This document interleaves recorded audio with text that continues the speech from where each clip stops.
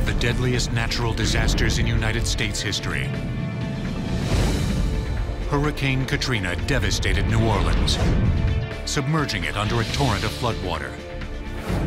Levees failed, and water pumping systems below sea level were flooded. The roof of the Superdome, where thousands sought shelter, was torn to shreds. And this bridge, linking the city to outside relief efforts, collapsed like a set of dominoes. How could it all happen? Now, engineering disasters, New Orleans on Modern Marvels.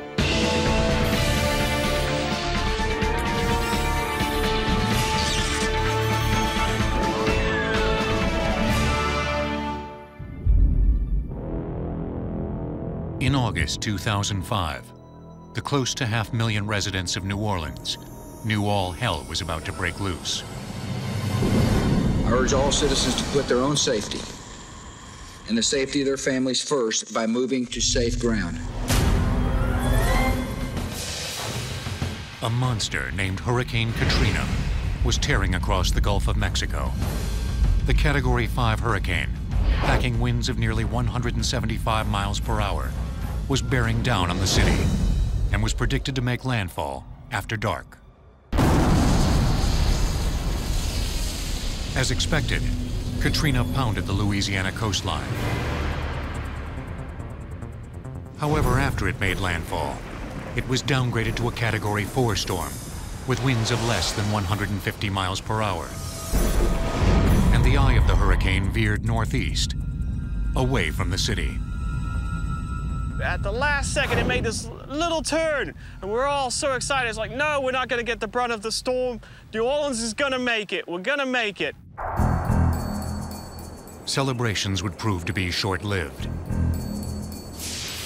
By missing the city, Katrina's ferocious winds, moving in a counterclockwise pattern over Lake Pontchartrain to the north, and the Gulf of Mexico to the east, sent an estimated 15-foot storm surge into the city through its backdoor drainage canal system.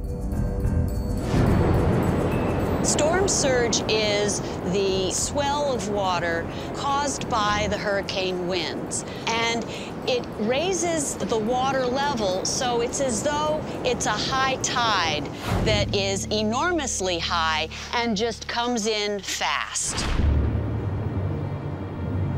Only the levees and floodwalls could protect the city from the impending catastrophe.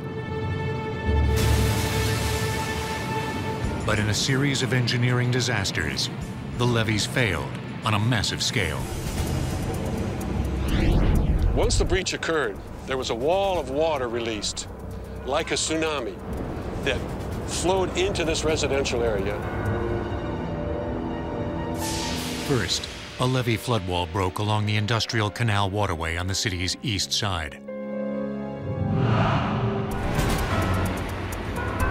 Storm surge water rushed through the breach into an area known as the Ninth Ward. Then a second flood wall on top of the 17th Street Canal levee suffered a two city block wide breach.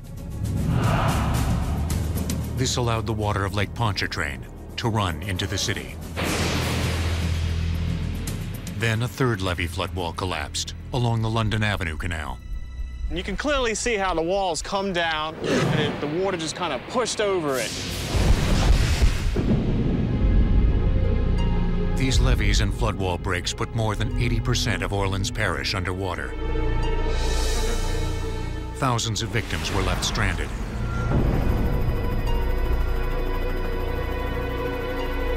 We are dealing with one of the worst natural disasters in our nation's history.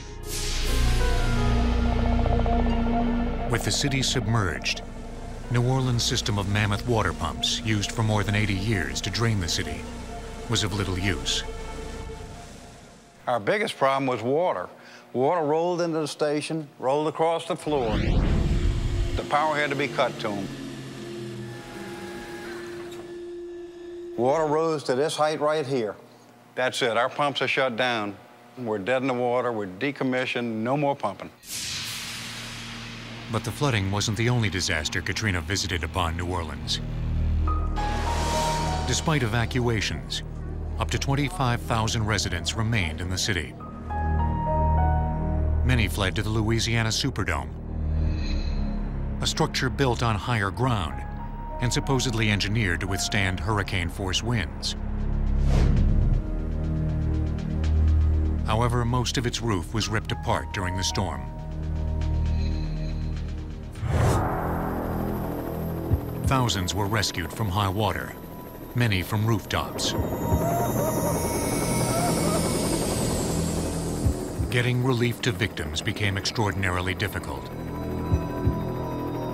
In another engineering disaster, a main route into the city, the Interstate 10 twin-span bridge, collapsed as a result of the storm's massive water surge. The city was left with no power, scarce drinking water, dwindling food supplies, and incidents of looting. Hey, Up to 1,300 victims did not survive. New Orleans looked like a third world country. It was really an apocalyptic event for the city to flood and fires to break out in the water and people to be trapped in their homes. The collapse of civilization seeming to be imminent. Why had New Orleans been so vulnerable? A shocked nation began to look for answers. The mystery that we're trying to uncover in terms of the engineering performance of the design is what caused the variety of failures that we saw. Was it a strong hurricane or a weak design? An army of scientists, geologists, and engineers descended on the crippled city to unlock this mystery. One of the so-called geodetectives was Dr. Joseph Suhayda, an oceanographer, geotechnical coastal engineer, and former professor at Louisiana State University. Right after the uh, storm hit, I investigated the causes for some of the uh, breaches and floodwall failures that occurred. We had to do this immediately after the storm before any evidence would be erased by either repairs or some natural processes that would obscure what we were trying to look at. Dr. Suhayda reached the scene without a moment to spare. Here, Robert E. Lee, the Army Corps of Engineers was rapidly repairing the levee and floodwall breaks to protect against further storms which could strike during the remainder of what would turn out to be an extremely active hurricane season. There were a lot of unknown factors in terms of the levee breaches. And so we had to um, look into the factors that uh, would explain why they failed under conditions that would appear that they should not have failed under. In fact, the engineering failures may have been over 300 years in the making. Beginning when the French arrived at the end of the 17th century. The first settlers found a swampy area they called Le Flottant, the floating land. The soil on which New Orleans was built is naturally very wet, even spongy, and consists of silt carried from the Mississippi River. The city is mostly surrounded by water. Only parts of New Orleans are a few feet above sea level. Most of it is either at or 10 feet below sea level. The topography has been likened to a soup bowl because the front, the river end, is high of the rim, and the middle is low, like the bottom of a bowl. Before it was known as the Big Easy, New Orleans was named the Crescent City. The French first built on the crescent-shaped high elevation along the Mississippi River. This is where the famous French Quarter is now located. From the beginning, the French had problems with flooding from the Mississippi River.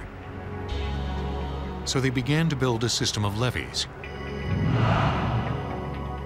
A levee is an earthen dam that runs along a waterway. The levee system goes literally to the founding of New Orleans. I would say at the very, very er, latest, 1720 and possibly 1718. After the Louisiana Purchase in 1803, the United States took control of the city. As it grew, the swampland below sea level was converted into farmland.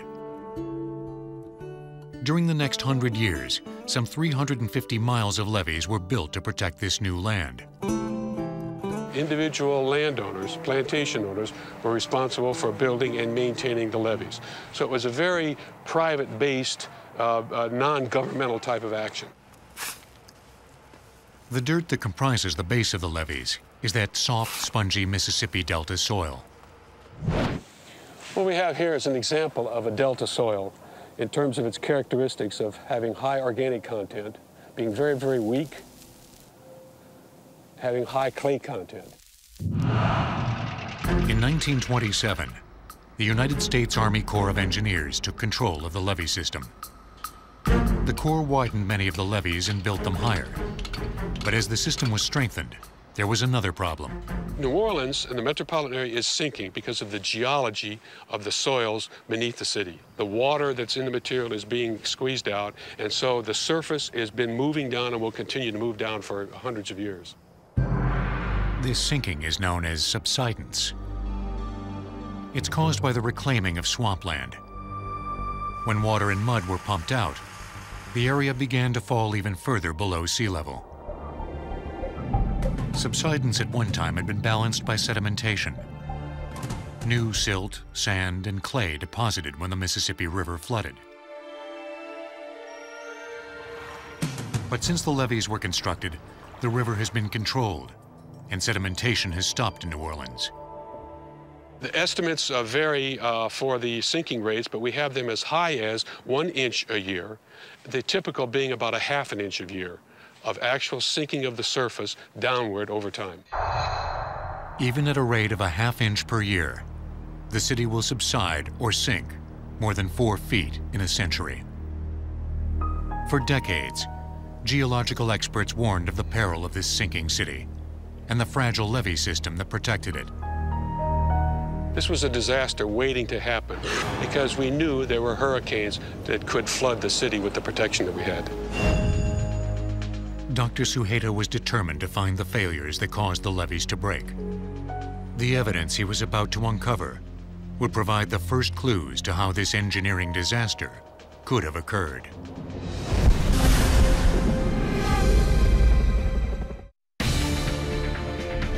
Estimated 200,000 homes in New Orleans were destroyed or damaged by Hurricane Katrina.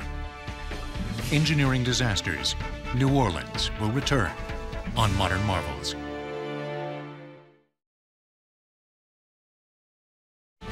We now return to Engineering Disasters, New Orleans, on Modern Marvels. Weeks after Katrina wreaked havoc on New Orleans, the city remained mostly underwater. The critical question, why did the levees fail did Katrina overwhelm the city's flood defenses? Or did faulty construction cause them to burst open? The levees and flood walls were built to what we refer to simply as a Category 3 fast-moving storm. The National Hurricane Center classifies hurricanes according to wind speed and storm surge. The scale ranges from the least severe Category 1 hurricane, with winds of 74 to 95 miles per hour, and a storm surge of 4 to 5 feet, to the most destructive Category 5, where winds soar to more than 155 miles per hour, with a storm surge of higher than 18 feet. Well, we started the Hurricane Protection Project back after Hurricane Betsy in 1965. Katrina wasn't the first hurricane to devastate New Orleans.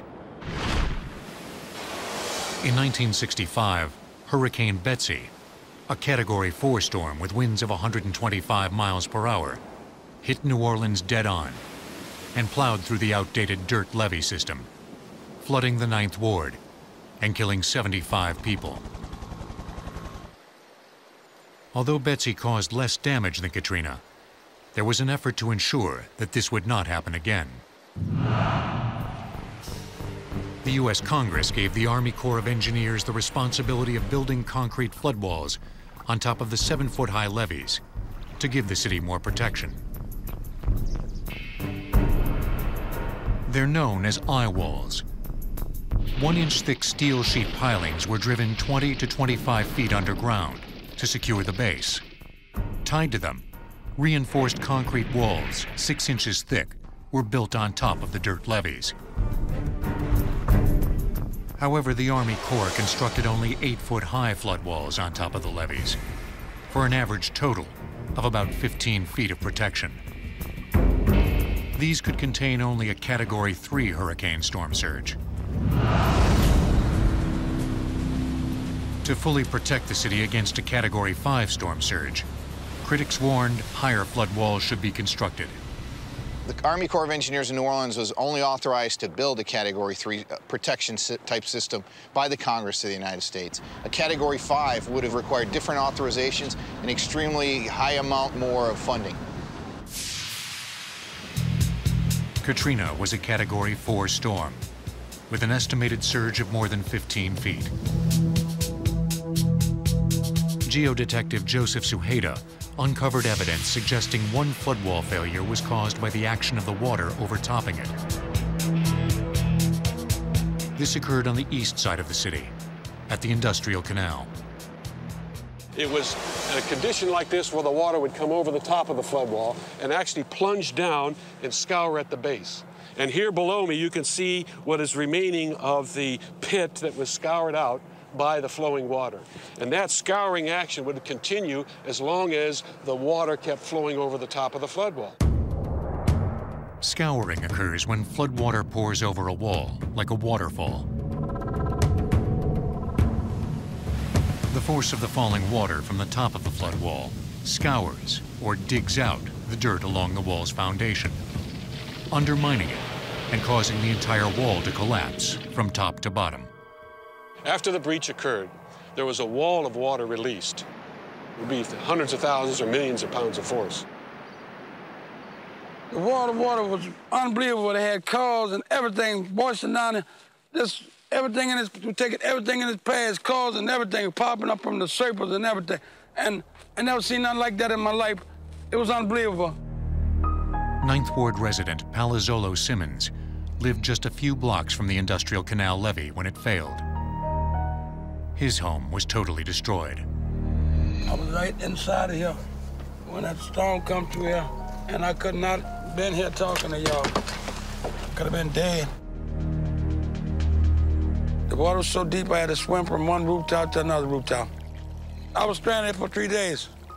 Three days with no rescue help whatsoever. I got out of this area. A guy came in with a, with a boat, rowing a boat. He seen me and he can't pick me up. Palazzolo Simmons was lucky. He survived. In his ninth ward, which was hit hardest by the storm surge, miles of homes were destroyed.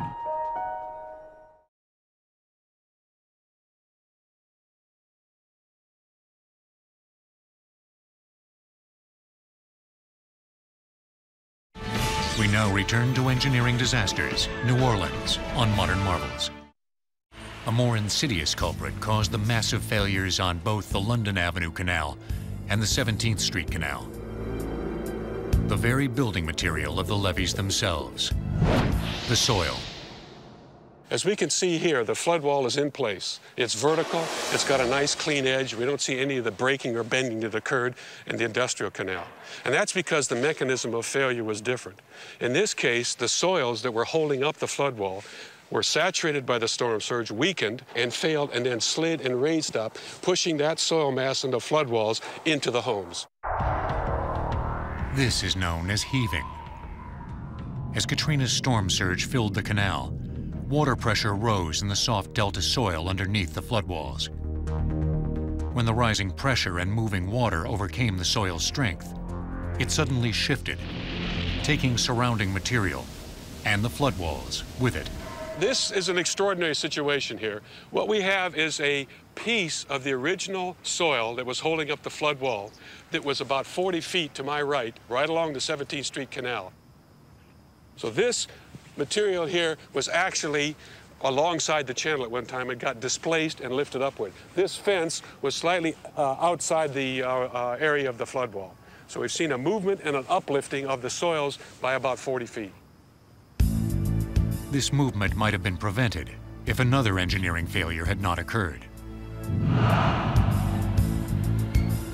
The steel sheet pile bases, driven 20 to 25 feet underground, gave the flood walls insufficient support.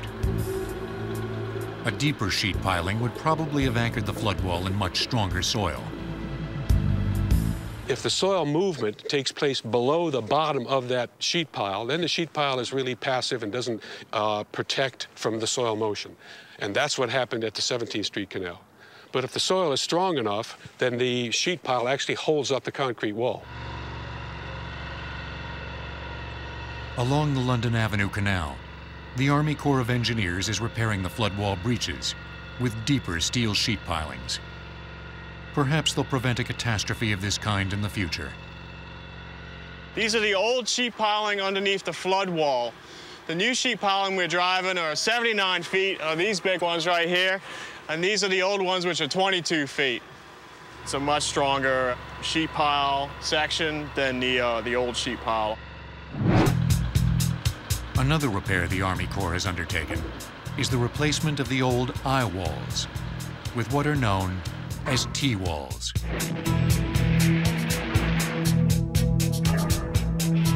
The flood wall is secured with a concrete base embedded underground. Attached to the base are steel sheet pilings of up to 70 feet deep. So you have a lot of capacity in these piles where they can't be moved, so the wall can't turn as long as those piles are there. Although the damaged levees are being rebuilt by the Army Corps, they still will only withstand a Category 3 storm surge. There are no plans to heighten the flood walls to protect against a Category 5. The estimates, it would take many, many years, five to 10 years at least. Uh, dollar estimates range in the uh, 20 plus billion dollar range just for New Orleans area.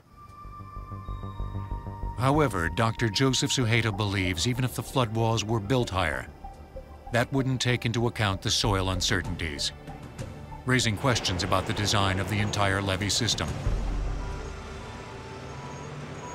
The analogy can be made that when you have very soft soils, uh, even if you have a very strong structure on top of that, then the whole structure is going to fail. Somewhat like if you put bricks on jello, the bricks can be very, very strong, but it's the, the strength of the jello that really determines whether the bricks are going to move. One of the solutions to the problem of minimizing the threat associated with flood walls is to build floodgates at the northern end of our drainage canals and therefore keep the storm surge from coming into the drainage canals and from threatening the flood walls. Floodgates are enormous walls that can be raised or lowered by hydraulic systems to regulate water flow. The Army Corps is looking into the possibility of placing floodgates at canal openings. The gate would be raised above the level of the water, so the water would gently pass beneath it. In the event a storm was approaching, the gate would be lowered so that it would block the flow of water. Rebuilt levees, flood walls, and floodgates could constitute New Orleans' first line of defense against another hurricane catastrophe that might help protect New Orleans' second line of defense, a system of 24 water pumping stations that flooded after Katrina and left New Orleans crippled for weeks in a polluted swampland.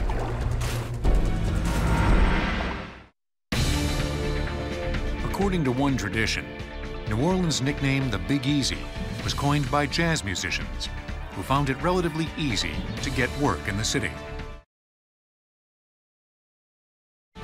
Now return to engineering disasters, New Orleans, on Modern Marvels.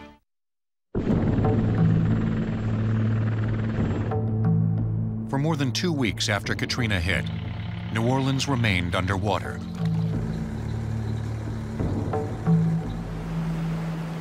The city has one of the world's largest water pumping systems, capable of pumping 30 billion gallons a day.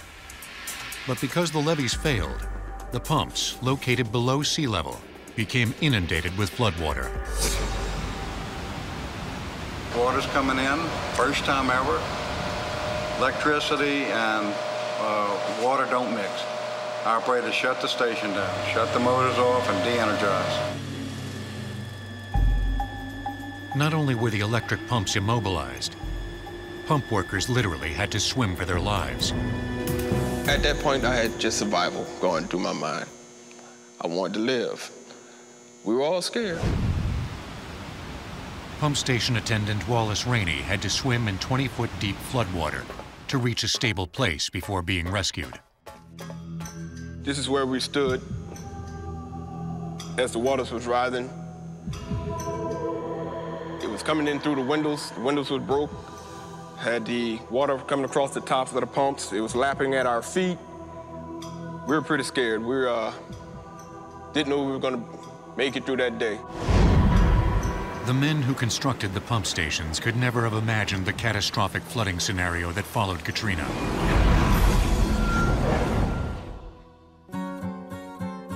For centuries, New Orleans had attempted to deal with water accumulation problems. But it wasn't until 1912 when Albert Baldwin Wood invented a successful screw pump that the city found a solution. Remarkably, many of Wood's screw pumps, over 80 years old, are still in use today.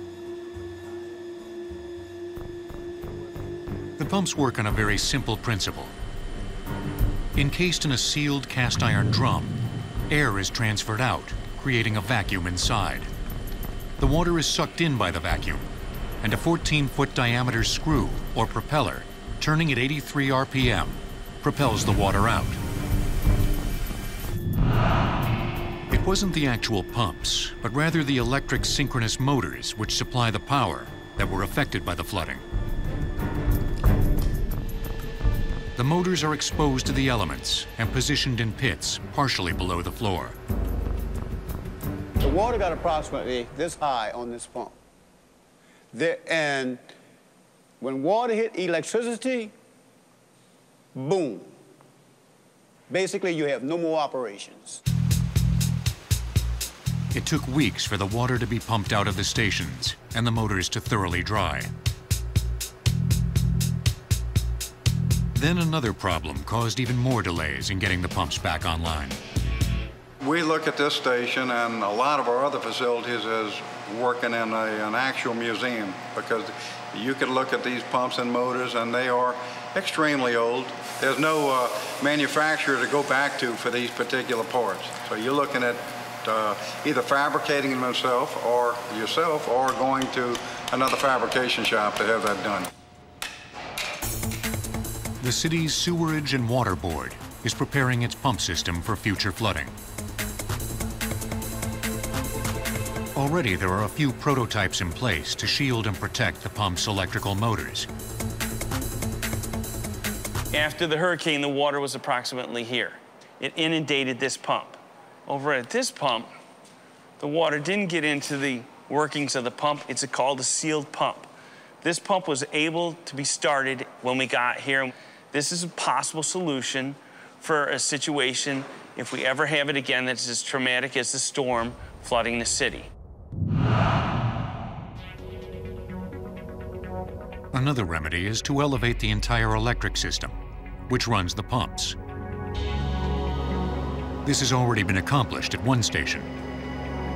Some of this equipment is in the basements of some of these pumping stations. Those that equipment possibly needs to be higher so that if we do get a situation where we need the pumps and you know, there's a lot of water in the city, that these, this equipment stays dry. It took 21 grueling days to pump out New Orleans. But if the pumps hadn't been flooded, would the city itself have stayed above water? If our drainage pumping station had not been damaged and um, the levee breach could be stopped in its early stages, it would take 12 to 20 hours possibly to pump out what ran in during that time. Instead, standing floodwater left the city in an uninhabitable soup.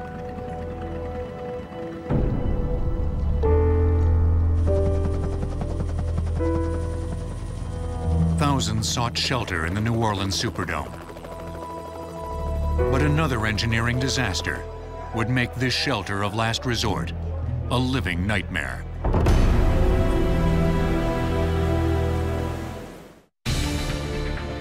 One of the 14-foot screw pumps designed by Albert Baldwin Wood has the capacity to discharge 7,500 gallons of water every second, or 648 million gallons per day. Engineering Disasters, New Orleans will return on Modern Marvels.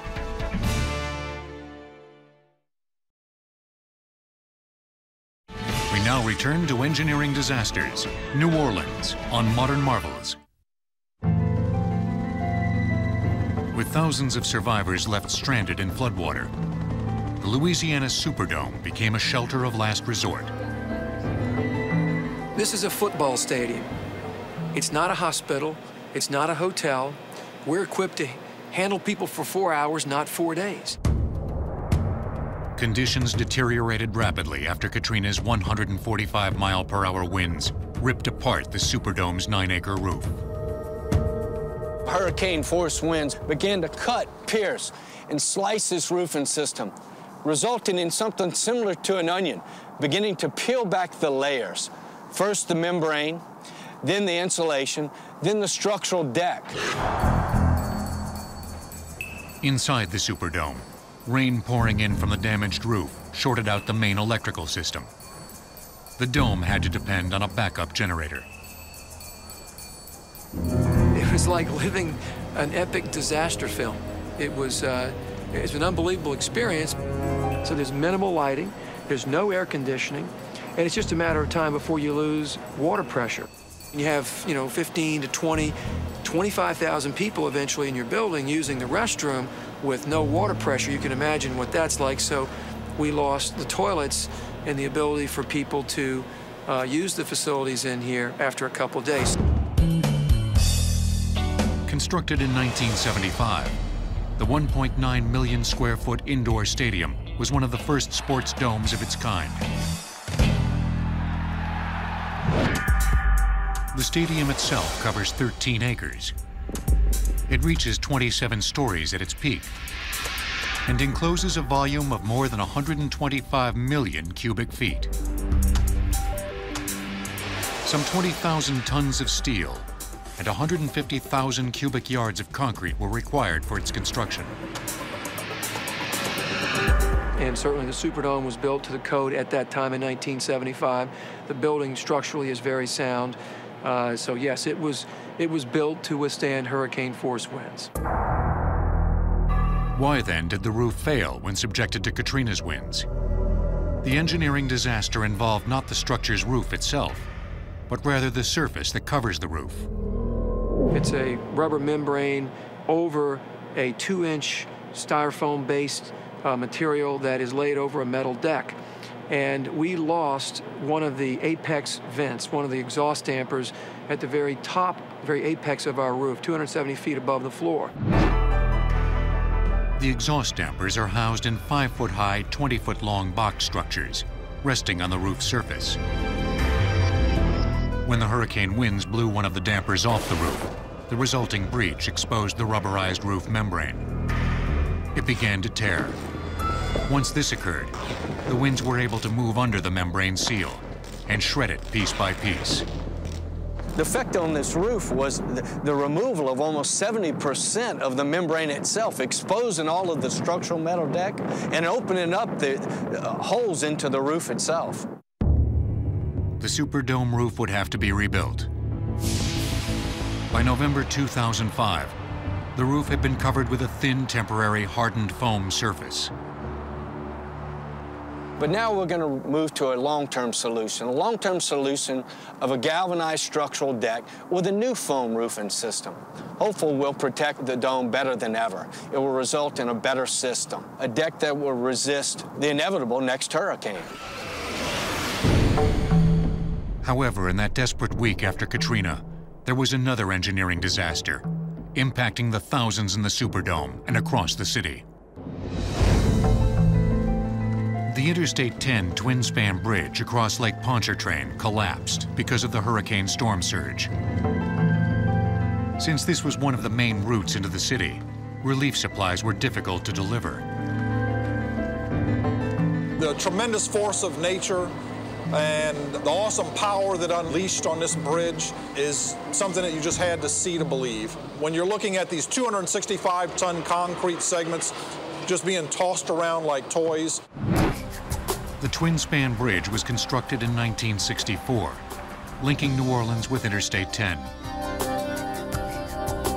It's a concrete structure spanning 5.4 miles of Lake Pontchartrain. The bridge consists of approximately 460 concrete segments, each weighing about 265 tons. The segments are held up by pilings that are sunk 100 feet into the lake bed, but rise less than 10 feet above the lake surface.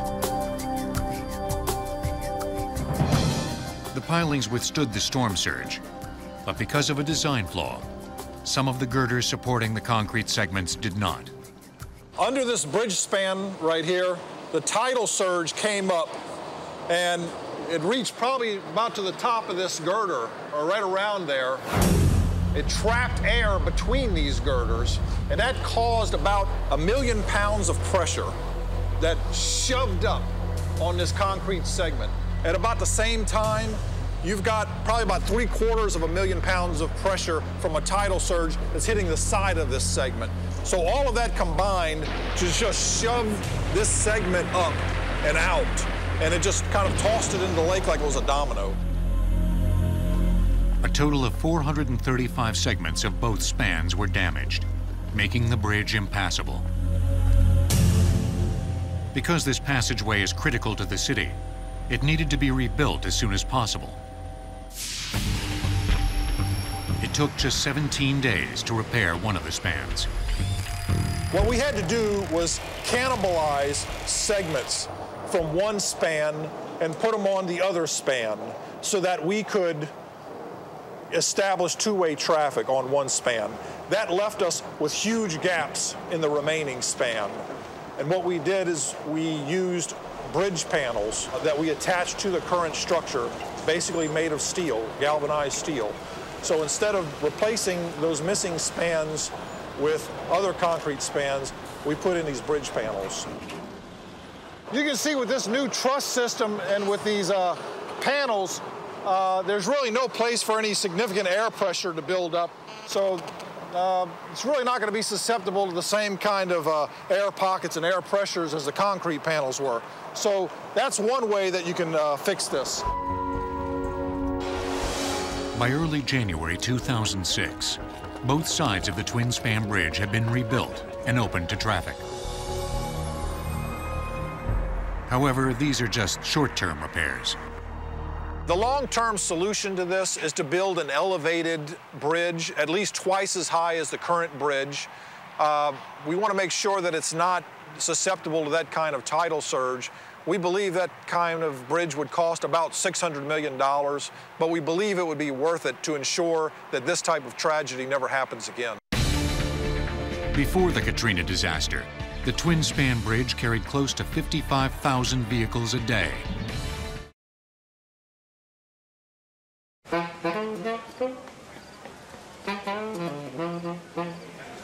On Bourbon Street, the neon lights are flashing and the booze and jazz are flowing. The Big Easy is making its best effort to come back. But the French Quarter is located on the city's highest ground and received the least amount of flood damage.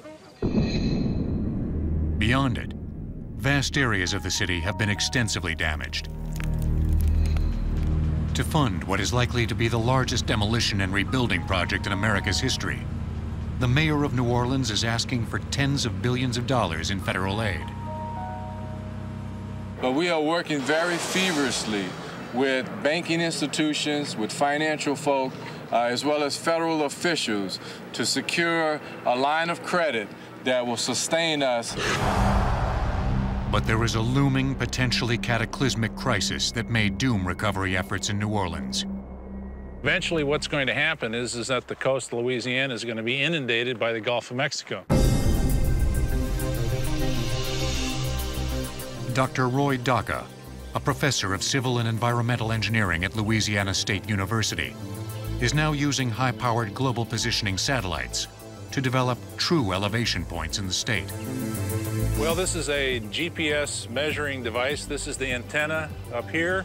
What we're using this for is to figure out exactly how high we are above sea level, but more importantly, how low we are below sea level. And what that's been able to do is that, that it's shown us that, that the sinking is occurring much faster than what people had thought before, and it's occurring in places that we didn't know it was happening. Dr. Dokka's results indicate the elevations of some areas have dropped as much as two feet since they were last surveyed in 1970. And the sinking continues.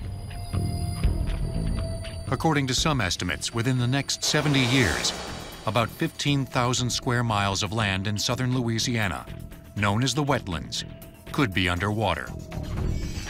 The wetlands encompass a marshy region that acts as a buffer zone slowing down hurricanes before they reach New Orleans. We're losing, on, on average, a football field every hour.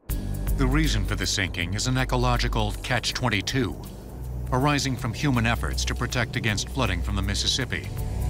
In order to stop the flooding, we leveed the rivers. We, we kept the river within its bank, we tamed it. But in the process, we also disrupted the natural system. Before, the river would naturally fill up areas that had subsided. And as it filled them up above sea level, higher and higher, the river then would find another course and begin to fill up other areas that had fallen below sea level. In addition to the wetlands, Louisiana's other natural defense against hurricanes has been the barrier islands, which were part of the region's shoreline just a century ago.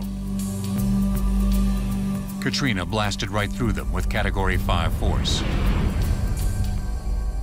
After Katrina, uh, the, there's not much left of the barrier islands, uh, particularly the ones that have been protecting uh, New Orleans. Much of them has been washed away. When the barrier islands become diminished or disappear, then there's not that impedance there to slow the, the action of the hurricane down.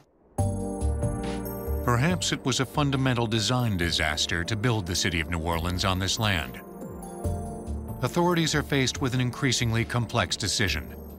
Whether to invest enormous amounts of time and money to attempt to completely protect the city with a newly designed and engineered levee system, or to simply patch and rebuild the existing system. This is not just a New Orleans problem, but it's the entire coastal problem. And that means what we need to do is to build some sort of structure that's going to keep the water out, building a levee that might span the entire coast. This would be the biggest engineering project in the history of the Earth. This would make the pyramids look like nothing. And so what we need to do is to start new ways of thinking, start thinking about building the Great Wall of Louisiana. But whatever the decision, the outcome for New Orleans may ultimately lie in the unpredictable hands of Mother Nature and her power to transform the Big Easy into a modern-day Atlantis.